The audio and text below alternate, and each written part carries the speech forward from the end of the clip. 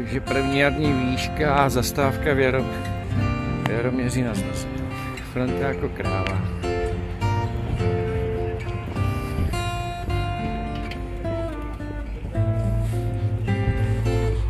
Jeden stroj hezčí než druhý. Tenhle bílej, ten svítí nejvíc. Eh, nějakýho kolíňáka. No, má to kolnickou značku. A fronta na zmrzlinu, ty vole. Kolikátý je dneska? 12. března možná.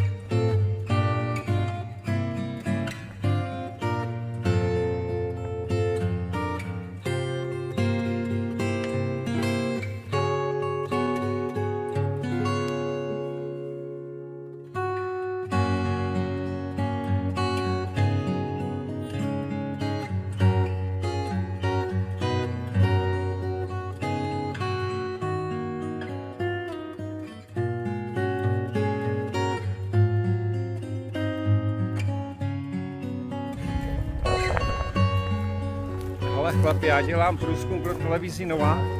Vy jste odsaď odnikať, nebo odkud jste přijeli? Jsme z Prahy. Z Prahy. Aha, tak to bude dobrý, to se bude na nově tohleto líbit.